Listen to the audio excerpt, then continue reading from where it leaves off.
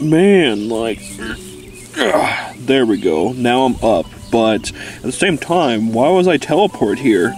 Oh, there is a reason, Dry Bowser. But we're not going to talk about that today. But anyways, the reason why I teleported you here, it's because, well, you have an option if you want to come back to life or not. So, yeah. Wait, what? I can come back to life? Like, when was this possible? Well, this was a long time in the making, but we were able to agree on something, and yeah, you should be able to come back to the mortal realm. And yeah, the other gods agreed with me, and yeah, you have an option to come back to the mortal realm if you like. So, yeah, are you shocked?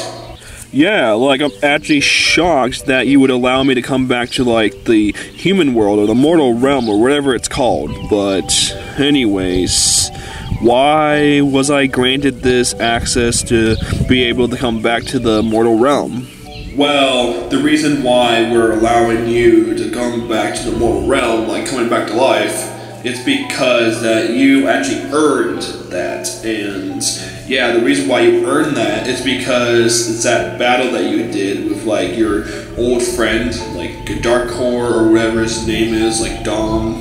Like, to be honest, I don't mind that right now. But what matters is is that after your sacrifice, you died as a hero, and yeah, you changed from a villain to an actual hero, and yeah, the other gods and I agreed that you should come back to life to see your son and your friends. And yeah, do you agree that you should come back to life?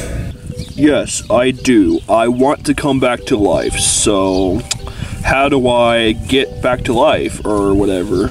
Oh, well, that's kind of easy actually. All you have to do is touch my hand with this glove, and you should be able to teleport back to the normal realm, like the mortal realm. So, yeah, Dry Bowser, are you ready for this? Yes, I am.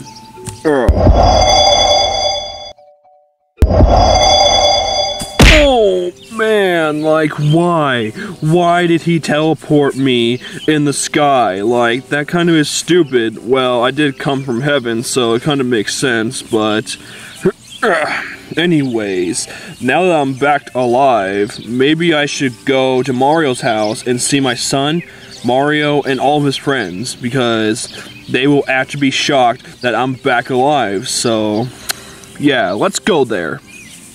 Okay, let's go to Mario's house.